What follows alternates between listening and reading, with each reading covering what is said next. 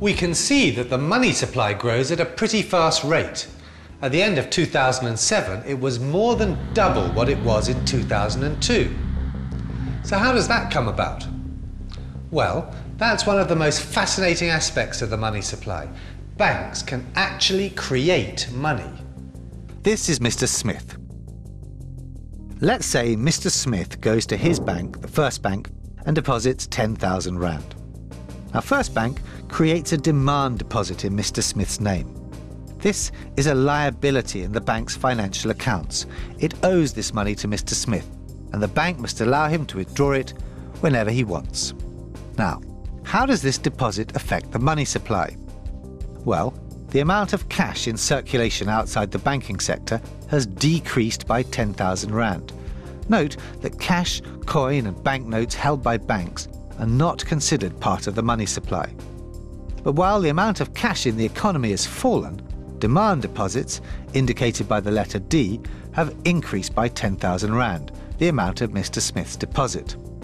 The composition of M1 money has changed, but not the overall amount, so the money supply has not changed. But what is the bank going to do with this 10,000 Rand? Do they just lock it in a safe until Mr. Smith wants it back? Well, no.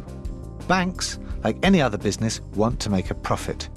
And one of the ways they do this is by lending Mr. Smith's money to other clients and charging them a higher interest rate than what they've offered to pay Mr. Smith.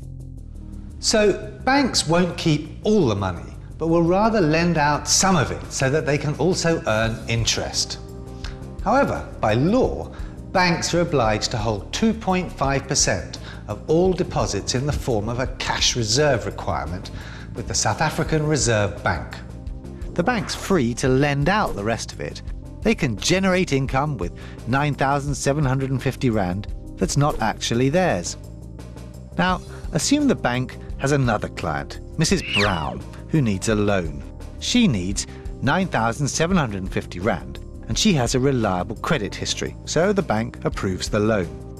In their books, this is an asset, since the money is owed back to them. The bank has acted as an intermediary. It's transferred Mr. Smith's surplus cash to Mrs. Brown. Now, Mrs. Brown then uses this loan to pay Speedy Motors, a down payment for the little car she's buying. Speedy Motors, in turn, deposits this payment in their bank, called Second Bank. And Second Bank then creates a demand deposit in their name for the amount of 9,750 Rand.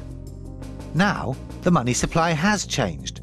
Remember, it didn't change with Mr. Smith's deposit, but by lending money to Mrs. Brown, who paid Speedy, who deposited that 9,750 Rand, a new demand deposit has been created. The banks are creating money.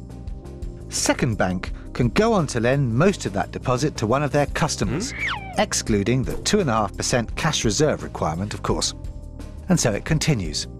With each new loan that banks approve, made possible by demand deposits from their customers, the money supply increases. Other financial institutions can act as intermediaries and transfer money from here to there. But banks are the only institutions that are allowed